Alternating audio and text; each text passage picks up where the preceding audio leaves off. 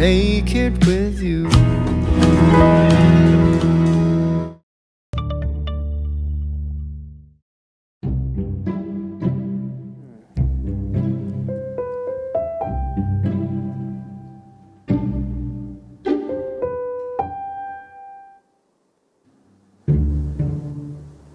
Bakit? May naisip lang ako. Kung haharap tayo sa kanila, I cannot be the face of Tinapay Corner. Paano yun, sir? Eh, ikaw ang CEO. I know. Pero ipapaalala ko lang kay Mr. Yang na isa akong Villarica. He will be reminded ng away nila ni Dad. Kung merong haharap kay Mr. Yang, ikaw dapat yun, Billy.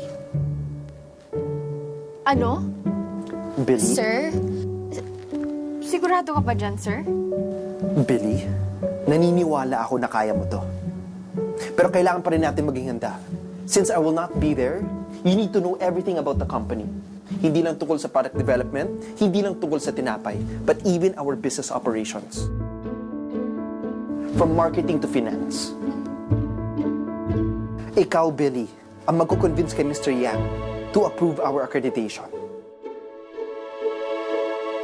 Are you up for it? This is our best shot. Sige, sir. Sabihin niyo lang kung anong kailangan kong gawin. Anna?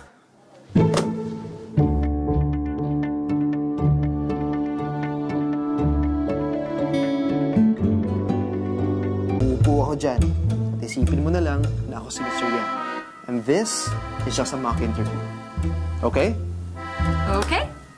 Okay. Mostly on organic marketing. Hinahayaan namin ang aming mga customers na magkwento tungkol sa aming produkto. And that in itself, sir, is a testament to our product. If that's the case, bakit kayo gumastos ng almost 40 million sa marketing in one quarter alone? Because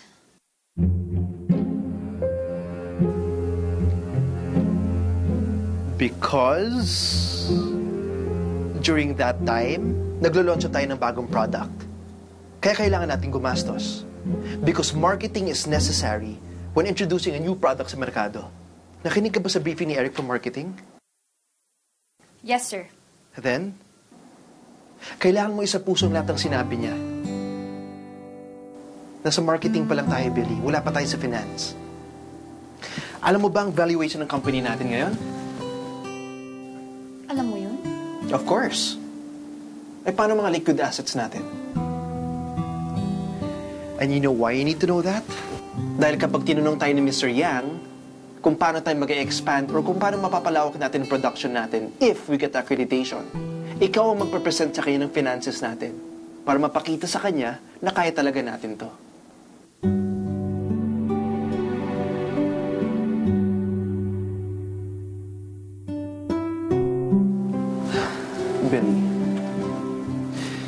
Becoming the face of Tinapay Corner means na ikaw na rin ang utak at puso nito.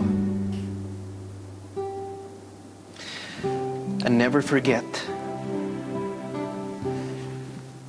to always stand straight to show your stature of confidence. At ang pinakamahalaga, tuwin ka sa mga mata niya at iparamdam mo sa kanya ang puso mo.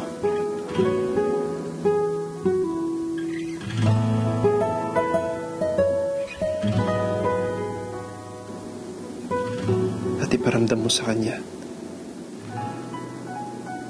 na alam mo talaga ang mga sinasabi mo. And why we deserve that accreditation.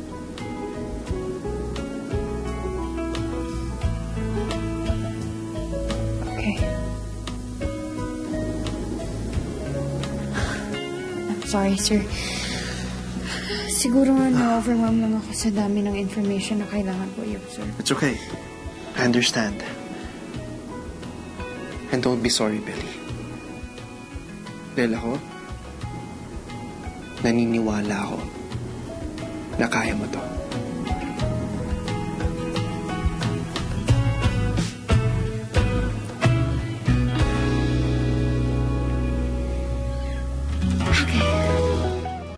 So, tell me, Miss Demagiba, ano ba ang meron sa product nyo? Ano ang kakaiba na meron nito that it deserves accreditation for their bigger Asian market? Sir, it would be a disservice kung hindi matitikman ng mas malaking merkado ang masarap naming tinapay. But other than that, our strongest point is our nutritional value. At sa panahon that we are challenging our diets na maging mas healthy, we can provide that. Our main ingredient is plant protein na merong all essential amino acids, monosaturated ang fats, at kaya namin i-provide ang 20% of your daily recommended nutrients. Sir, if you grant us this accreditation, hindi lang Tinapay Corner ang binibigyan nyo ng oportunidad. You will be helping the whole world eat healthy.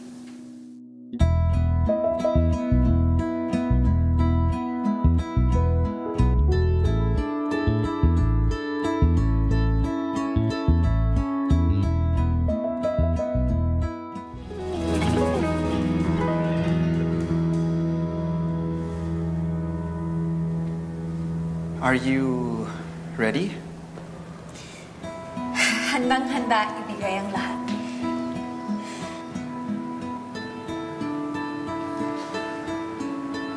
Billy, huwag kang kabahan. Naniniwala ako na kaya mo to.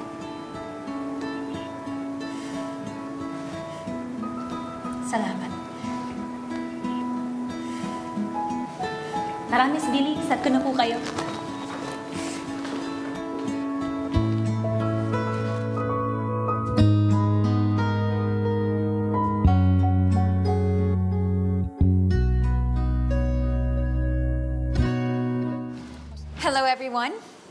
Ako na naman at nagpapasalamat po ako sa opportunity to tell you more about Tinapay Corner. So, hayaan niyong magsimula ako by telling you what we believe in as a company. You can do this, Billy. You can do this. Uy, mukhang mag-i-start na. Uy, Sanya, halika dito, dali. Uy, sis, halika dito. Kami, para wala magsisimula na. Bilis, bilis. Yan si Miss Billy, dali. Dali na. How do you market your products in Tinapay Corner? We rely on organic marketing. We allow our products to speak for itself. Villari Corp is a venture capitalist company investing in multiple businesses. Do you think that's a problem? No. Considering that it is one of the biggest companies in the country, we consider it a strength that we have a helping hand in case something were to happen. Your uh, sales figure are high. Can you keep it up? Yes. Kung mas matagal kami sa merkado, mas marami ang makakakilala sa aming mga produkto. With the rising prices of commodity, can you keep your prices low? The key is innovation. For as long as efficient ang production namin, we can provide the best at the most affordable rates. Yes. Our strength is in our local partners. We grow when our partners grow. Go, Billy. Tuloy mo lang yan.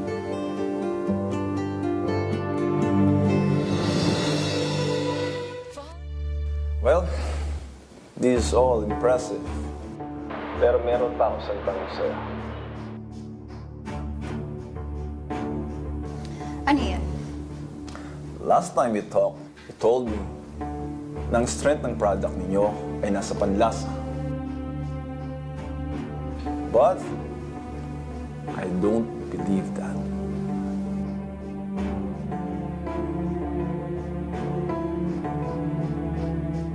Yung masarap sa'yo, pwedeng hindi masarap sa panlasa ko. Come on, Billy. Just like we rehearsed it. So tell me, anong meron sa produkto niyo? Anong kakaiba nito for us to grant you the accreditation for a bigger Asian market?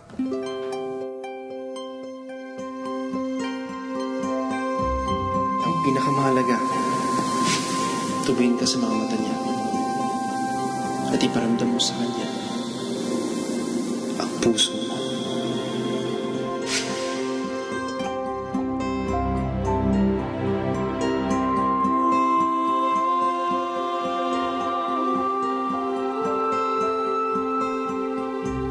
Aside from the taste, I can tell you about our tinapay na nagpo-provide ng iyong daily nutritional needs. That through us, you can help the world eat better.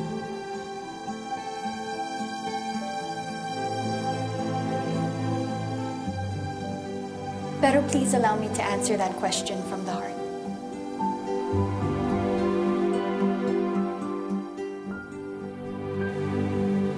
Ang totoong kakaiba sa mga produkto namin ay dahil galing siya sa puso at sa pagmamahal. Hindi lang po ako ang gumawa nito. Bawat kasama namin sa Tinapay Corner. Lahat sila ay nagpagod at nagpuyat to create this unique line of products. Ang bawat tinapay ay sumasalamin sa mga experiences nila, sa mga passion nila, sa mga paniniwala nila at sa mga buhay-buhay nila. At ang lahat ng ito ay nangyari because we have a boss who believed in us. Mr. Gabriel Villarica.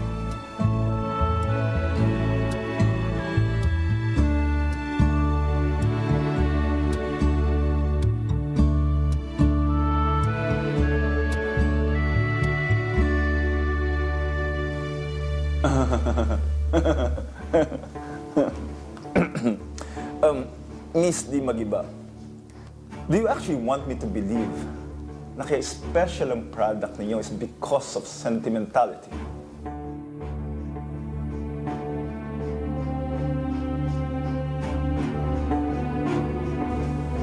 Because of love?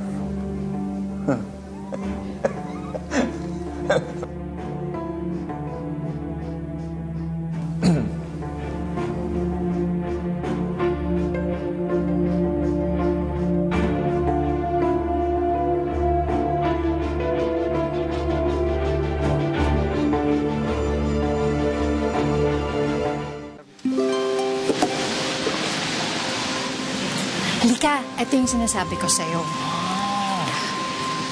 Kaya ganun. Follow me, okay? Like this. Like.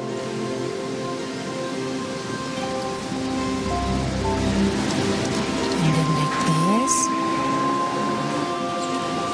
And put.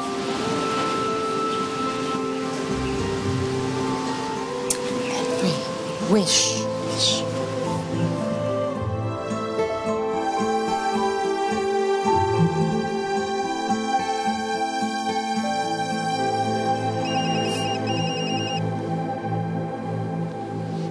Hello? Mr. Villarica, Mr. Yang. me and the rest of my accrediting committee has already made our decision. Huwag ka mabibigla sa desisyon namin. After all that has happened, I'm sure you're expecting this. Parang ang serious nung pinagpe-pray mo sa loob kanina. Ano ba yung wish mo? Una, sana stay healthy si Yusef. At hindi ka magsakit na ulit. Mm, sweet-sweet mo talaga. Ah, ayaw ko ron. Masakit. Eh, ano naman yung second wish? Second wish? Second for Billy at Gabo. Yung ginagawa nila, yung gusto ng puso nila. And then, accreditation sana makuha nila. Kasi, I want to see them, dreams nila come true. At masaya-masaya. Good news or bad news?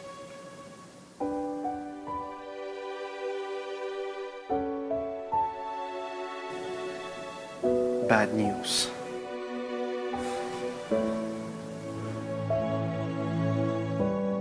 Bad news, alam mo kung mapapadami ang trabaho natin. Huh? Because we got it. We got accreditation. wish mo? Ah, sana gusto ko makita si Billy at Gabo hug each other very tight, di ba? Para they will feel love, love, love! Ayaw. Masakit. We got the accreditation. You heard me, Billy. We did it. Na-approve na tayo ni Mr. Yang.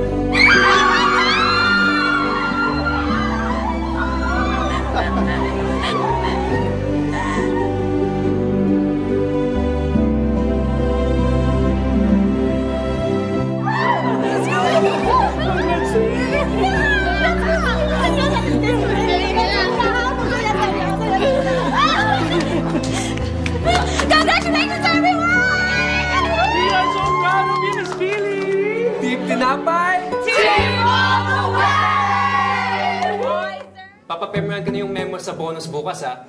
Bonus! Bonus! Bonus! Bonus! Bonus! Bonus! Bonus! Bonus! As promised, you are all getting your bonuses. At magdadagdag pa ako. To appreciate all of your hard work, no work for next week.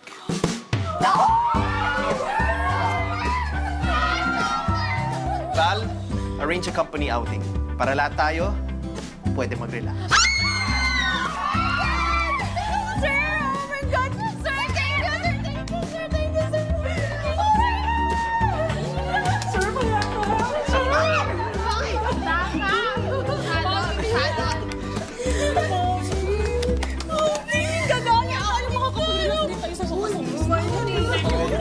Bawal. Ah,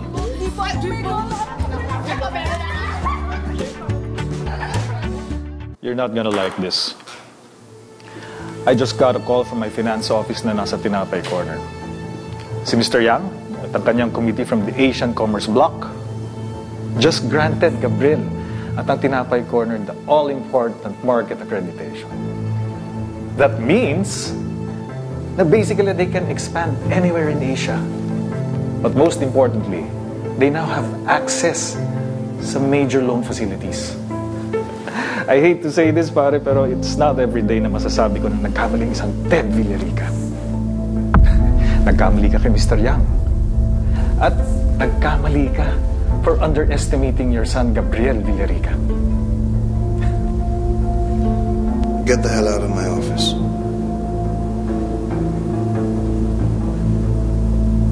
Now.